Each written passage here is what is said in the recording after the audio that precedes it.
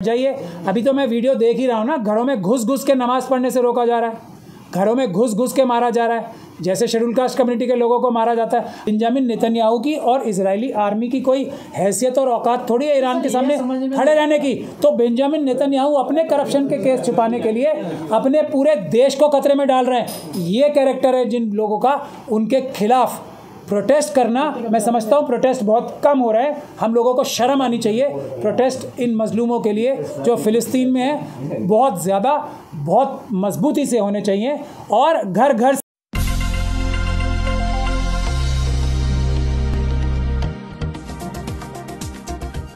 सिंहानंद का एक बार फिर से विवादित बयान आया है और अब विवादित बयान जो है सिर्फ़ मुसलमानों को लेकर नहीं बल्कि प्रॉफिट मोहम्मद को लेकर ये बयान आया है। इससे पहले भी महाराष्ट्र में एक बयान दिया गया है। इस तरह के जो बयान है वो आए दिन बढ़ रहे हैं। किस तरह की कार्रवाई होनी चाहिए? कैसे इनको देखें इन बयानों को? देखिए ये एक आरएसएस द्वारा संचालित बीजेपी द्वारा संचालित एक टेररिस्ट गैंग है।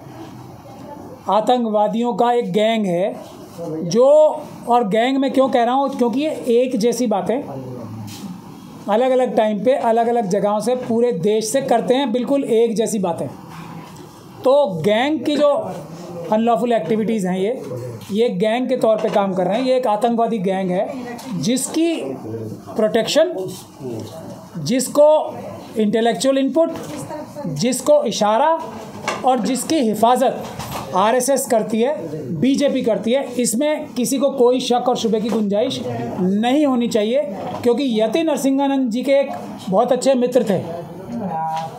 वो आजकल वो त्यागी बन, बनने की चेष्टा कर रहे हैं। मैं उनका नाम नहीं लेता हूँ कभी भी, क्योंकि वो अच्छी बात नहीं है। उनका नाम ही मैं नहीं लेता हूँ इसको। लेकिन एक कुछ क्लाइंट्स हमारे पास आए उत्तराखंड से।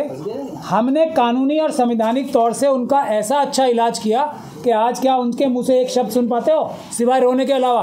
तो भारत के संविधान और कानून में ताकत है। लेकिन कमी क्या है? लोगों में उनके खिलाफ कानूनी एक्शन लेने की जो जो तरीके हैं उनके, वो ठीक नहीं है।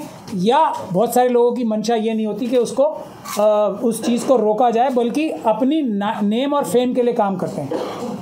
आप में से कितने लोगों को पता है कि त्यागी जी की आवाज़ जो है, हमने सुप्रीम कोर्ट से बंद कराई है? नहीं पता ना, क्योंकि हम पब्लिसिटी के लिए काम नहीं कर रहे हम काम के लिए काम करते हैं। तो काम के लिए काम करने वालों की ज़रूरत है।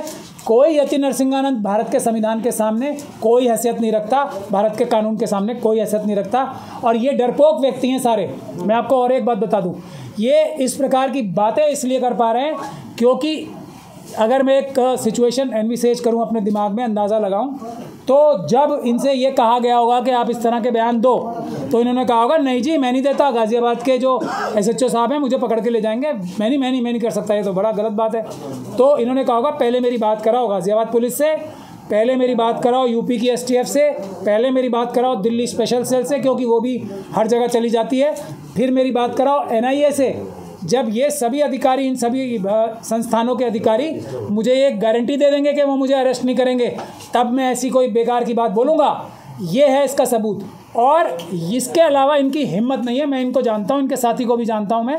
इनकी इतनी सी हिम्मत नहीं है जो ये चू भी कर जाएँ इस प्रकार की भारत के संविधान और कानून के खिलाफ, जब तक इनको पूरी तरीके से हौसला ना दिया गया हो आरएसएस और बीजेपी के द्वारा। पर कहा जाता मुसलमान डरा हुआ है। देखिए, मुसलमानों को उनके खुद के जो सो कॉल्ड लीडर्स बन गए साजिश के तहत एक मुखबिरों की टीम है। देखिए, हमारे पूरे देश में जो शेड्यूल कास्ट कम्युनिटी के अंदर भी घुसी हुई है शेड्यूल ट्राइब के भी लिए भी घुसी हुई है, और मुसलमानों के लिए ख़ास तौर पे सिख क्रिश्चियन बौद्ध के अंदर भी घुसा रखी है। ये मुखबिरों की टीम और उनके ऊपर जो लीडरों की टीम है, वो पूरी ताकत लगाए हुए हैं मुसलमानों को डरपोक बनाने की शेड्यूल कास्ट को डरपोक बनाने की शेड्यूल ट्राइब को डरपोक बनाने की। और सिख क्रिश्चियन बौद्धों को भी डरपोक बनाने की। लेकिन अभी तक वो इसमें कामयाब नहीं हुए हैं। किसानों का आंदोलन इस बात की गवाही है और सी एन आर सी का जो हमारी महिलाओं ने आंदोलन शुरू किया ये इस बात की गवाही है कि अभी तक मुसलमान जो हैं डरपोक नहीं हुए हैं।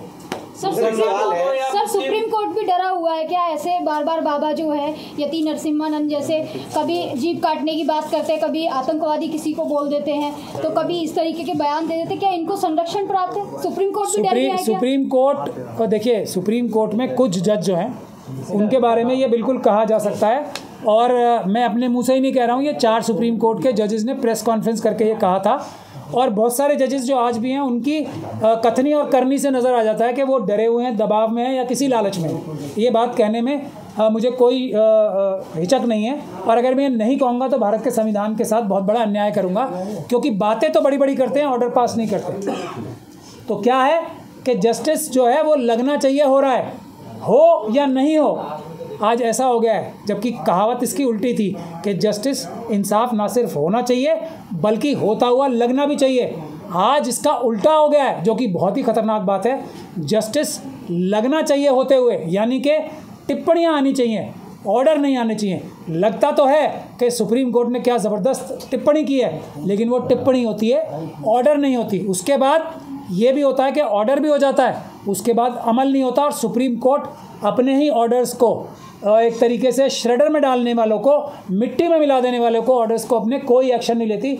अभी बुलडोज़र का जो जो ऑर्डर था सुप्रीम कोर्ट का, उसकी जिस प्रकार से धज्जियाँ गुजरात और आसाम में उड़ाई गई हैं यूपी में उड़ाई गई हैं, अब इनके खिलाफ कुछ नहीं होगा। इससे साफ़ ज़ाहिर होता है कुछ जजेस जो हैं सुप्रीम कोर्ट के भी और दूसरे जजेस भी डरे हुए हैं लालच में हैं। ये बात मुस्लिम या मुस्लिम तंजीमें क्या करें? क्योंकि अगर सड़क पर उतरते हैं तो घर बुलडोज हो जाता है। तो ऐसे में उनके लिए क्या रास्ता है कि वो इस तरह के भड़काऊ बयान देने वालों पर वो कार्रवाई करवा सके? देखिए अगर सड़क पर नहीं उतरेंगे तो गारंटी है कोई? बुलडोज़र नहीं आएगा तो बिल्कुल ना उतरें।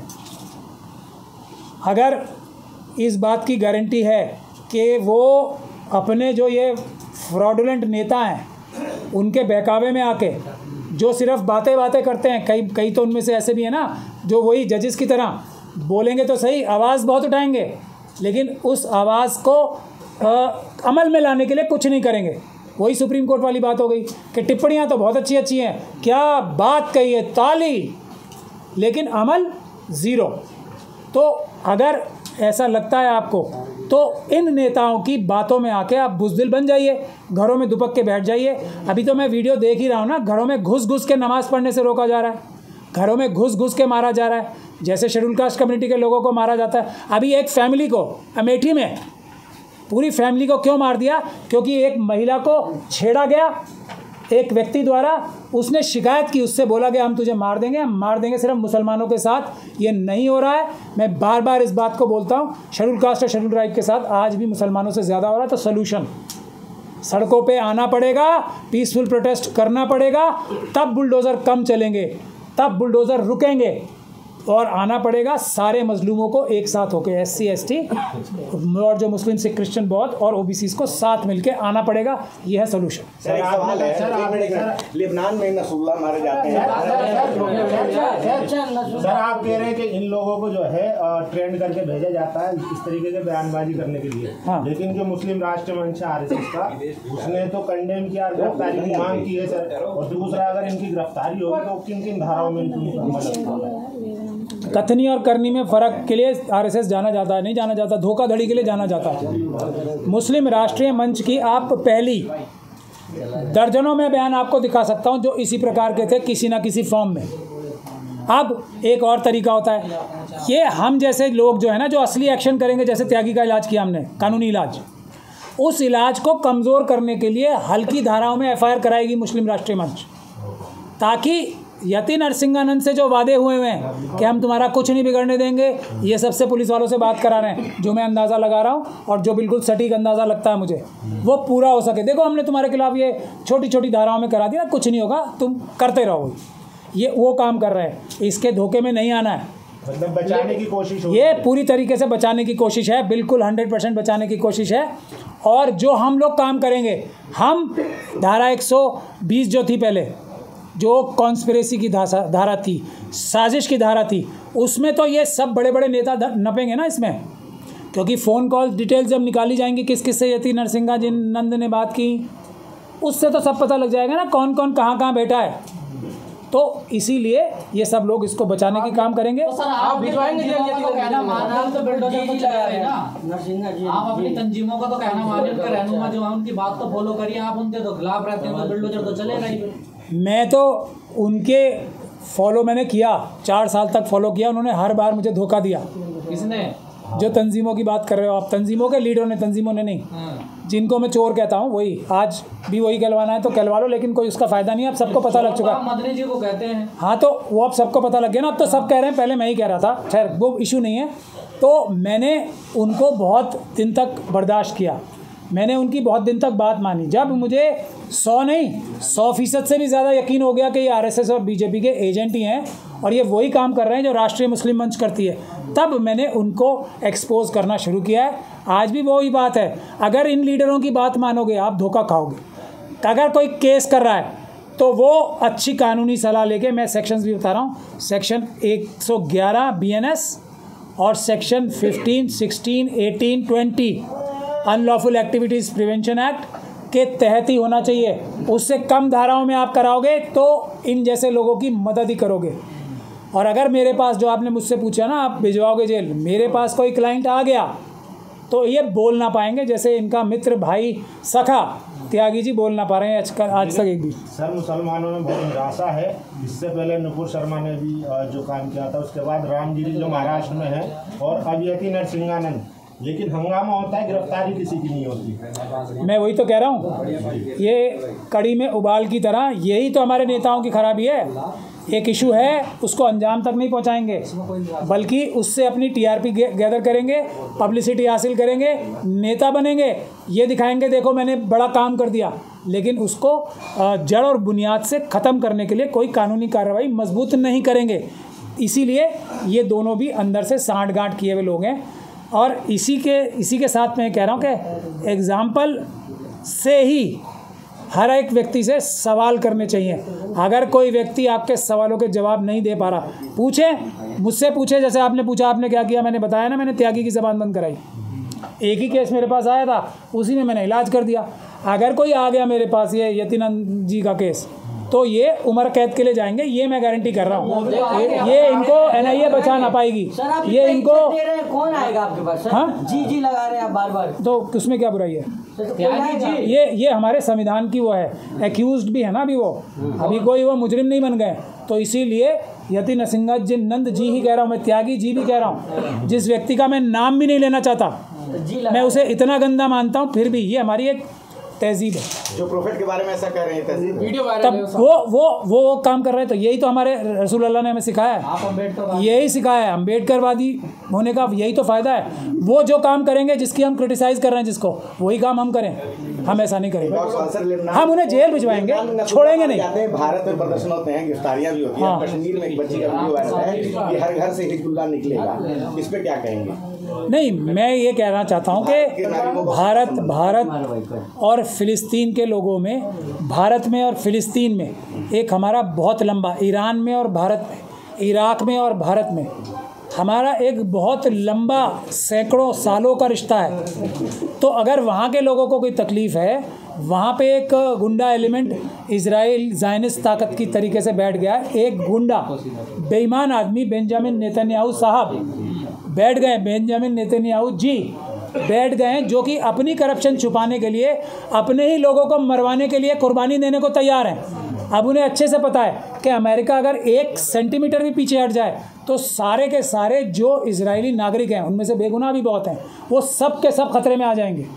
क्योंकि बेंजामिन नेतन्याहू की और इसराइली आर्मी की कोई हैसियत और औकात थोड़ी है ईरान के सामने खड़े रहने की। तो बेंजामिन नेतन्याहू अपने करप्शन के केस छुपाने के लिए अपने पूरे देश को खतरे में डाल रहे हैं। ये कैरेक्टर है जिन लोगों का उनके खिलाफ प्रोटेस्ट करना मैं समझता हूँ प्रोटेस्ट बहुत कम हो रहा है। हम लोगों को शर्म आनी चाहिए प्रोटेस्ट इन मजलूमों के लिए जो फ़िलिस्तीन में है। बहुत ज़्यादा बहुत मजबूती से होने चाहिए और घर घर से घर से इंसाफ की। हिजबुल्ला जो है, इंसाफ के लिए लड़ाई लड़ रहा है। आपको ये पता होना चाहिए हिजबुल्ला एक जो मेंबर ऑफ़ यूएन है, लेबनान, की रूलिंग कोलिशन का एक हिस्सा है हिजबुल्ला वो यूएन के मेंबर हैं तो वो एक रिस्पेक्टेड मेंबर ऑफ़ यूएन है कंट्री हैं।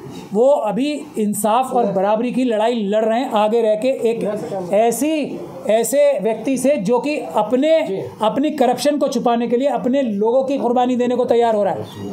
तो वो सबसे अच्छा काम कर रहे हैं इस वक्त पूरी दुनिया में उनके लिए। सर उसके लिए सरकार है ना देखिए ये इंटरनेशनल मामला तो सरकार देखेगी। सरकार सरकार ने देखिए हालाँकि अडानी की वजह से मिस्टर अडानी जी की वजह से जो बेंजामिन नेतन्याहू से उनके ताल्लुकात हैं बेंजामिन नेतन्याहू जी से उसकी वजह से मोदी जी ने भी अपनी भारत की पॉलिसी कुछ ख़राब की है लेकिन फिर भी अभी ईरान के साथ नेवल जॉइंट नेवल एक्सरसाइज होने जा रही है। ये आपको इशारे समझ में नहीं आ रहे हैं? नहीं सर जो लोग वहाँ के लिए प्रोटेस्ट करते हैं वो अपने देश के मुसलमानों के लिए तो कुछ नहीं करते। जो मजलूम है गरीब है बेचारे उनके लिए तो कुछ नहीं करते चलिए अपने अपने अपने लिए विदेश में जाएँगे न्याय दिलाने। मैं वही तो कह रहा हूँ। जिनके पास वीज़ा नहीं टिकट के लिए पैसे नहीं वो विदेश जा रहे हैं न्याय दिलाने। सर मैं क्या होगा मैं क्या कह रहा हूँ आपसे? अपनों लिए अपनों के लिए शर्म नहीं आई कम से कम बाहर वालों के लिए शर्म आ रही है शर्म आनी शुरू हो जाएगी तो अपनों के लिए भी करेंगे। फिर सबसे पहले तो अभी अभी अमेठी के परिवार के लिए प्रोटेस्ट होना चाहिए जिसको अभी मार दिया गया। हम्म, दलित परिवार। दलित शेड्यूल कास्ट के पे आते हैं हम यति नरसिम्हा की बात कर रहे थे। अभी आपने ये सवाल कहा कि आपने ये कहा कि मुसलमान के साथ कम हो रहा है और दलित के साथ ज़्यादा हो रहा है। कम और ज़्यादा वाली बात नहीं है सामान्य हमें समझना चाहिए। लेकिन दोनों के साथ ही हो रहा है दोनों ही परेशान है। ये देखिए ये आपका मानना है। मेरा ऐसा मानना है कि मैं वो शब्द का प्रयोग नहीं करना चाहता करता भी नहीं हूँ। शेड्यूल कास्ट जो कम्युनिटी है उसके साथ सबसे ज़्यादा हो रहा है। ये मेरा मानना है मेरी अपनी सोच है। अगर तो आप मुझसे पाँच सवाल सालों से हो रहा ना। नहीं अभी भी हो रहा है। वो भी हो रहा है और अभी भी हो रहा है। अभी तो ये मुसलमानों के साथ तो अभी कुछ सालों से शुरू हुआ है ना। हाँ। उनके साथ तो पाँच हज़ार साल से हो रहा है। तो इसका ये मतलब नहीं है कि वो सही हो गया क्योंकि उनके साथ हो ही रहा है तो ये उसे नज़रअंदाज कर दिया जाए। ऐसा गलत है।